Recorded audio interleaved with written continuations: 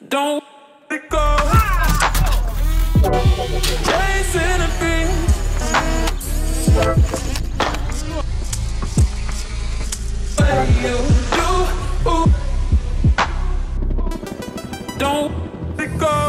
Много кто в комментариях просил снять видео о том, как садить дрон на руку, либо взлетать с рук. И в этом видео я вам расскажу, как это делать. Иногда бывают случаи, когда неудобно взлетать с земли. Вот, к примеру, как здесь. Здесь очень много листьев. Если поставить дрон, то винты цепляют эти листья. Могут быть какие-то ветки. Вы можете повредить винты и повредить как-то дрон. Это не очень хорошо для самого дрона. Также есть песок, какая-то грязь. Когда дрон взлетает, сейчас очень много грязи. И если вы где-то поставите на земле дрон, то пыль поднимется, это может попасть в ваши пропеллеры, и это все не очень хорошо влияет на работоспособность дрона, потому лучше всего, конечно же, взлетать с рук, либо с какой-то специальной поверхности. Например, есть специальные коврики, вы можете его поставить, тогда вот эти маленькие камешки не поднимутся и не повредят вашу камеру.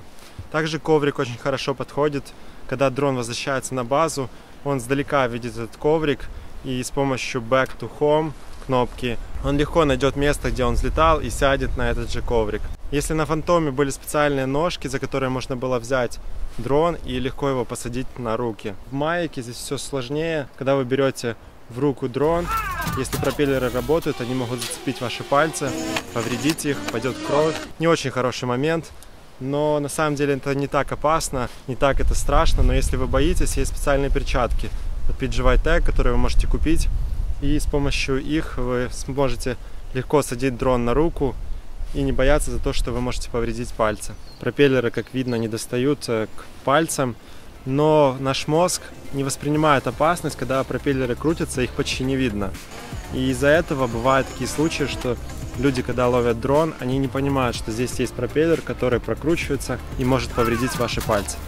В общем, хватит теории, переходим к практике. Let's go!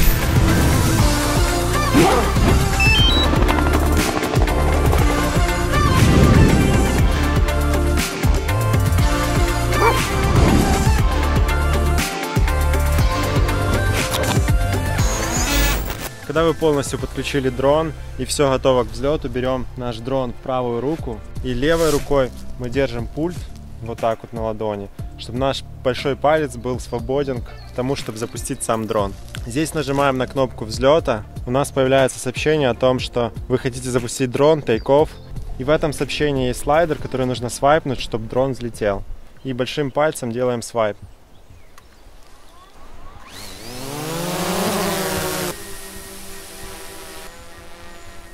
Также, если у вас маленький большой палец, и вы не можете просвайпать, вы всегда это можете сделать носом.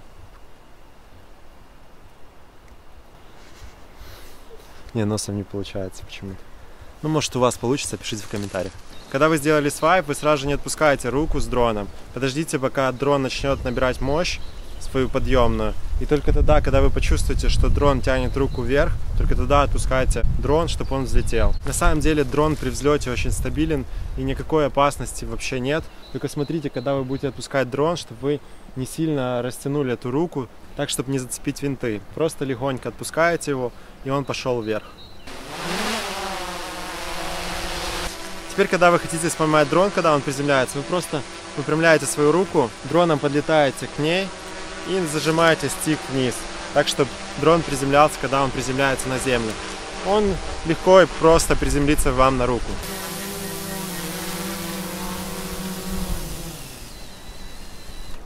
Уже когда он подлетает, я немножко его пальцами хватаю, так, чтобы он не упал. А так, просто на открытой ладони он садится легко вам на ладонь. Никакой опасности вообще нет. Вы видели много раз, когда я ловил дрон и глушил его с помощью вот такого движения. Когда переворачиваются винты дрона, дрон автоматически глушится. Но сейчас, видимо, вышла какая-то новая прошивка, либо что-то в этом духе. И когда теперь я ловлю так дрон и пытаюсь его заглушить, он не глохнет. Он все равно продолжает работать, винты все равно крутятся, и только можно его назад вернуть в такое положение, только тогда он взлетает. У меня не раз такое уже было, два раза я пробовал заглушить таким образом, не получается. Видимо, вышла новая прошивка, где они эту возможность закрыли. Потому самый простой способ заглушить дрон, это просто садитесь на ладонь, точно так же, как на землю, и все. Дрон в безопасности, руки в безопасности, все очень просто. Как дрон видит руку? А дрон думает, что это земля, и он садится точно так же на руку, как и на землю. Здесь есть сенсоры, которые видят расстояние к земле, либо к руке, либо к другому объекту. И таким образом он, когда видит, что расстояние такое, что идет дрон на посадку, он включает режим посадки и глушит винты через время. Ты включаешь какой-то специальный ручной режим посадки? Не, никакого режима нет. Это обычный стандартный режим, когда ты зажимаешь стик вниз, дрон думает, что это земля и сад- садится. Не страшно? Не, вообще не страшно на самом деле. Просто нужно несколько раз попробовать, и вы понимаете, что это безопасно. Дрон очень стабилен, и никакой опасности нет. Очень много людей ловит его руками, и все окей. Да, есть, конечно, люди, которые случайно задевают пальцами винты. Не раз такое случалось у моих друзей.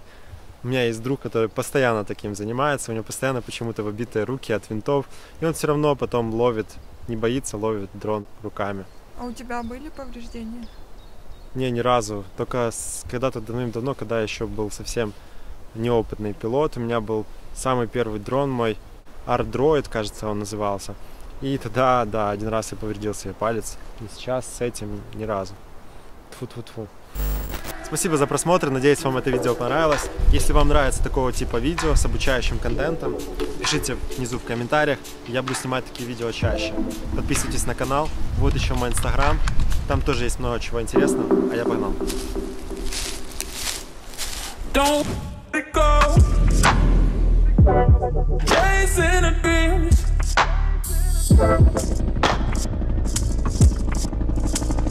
you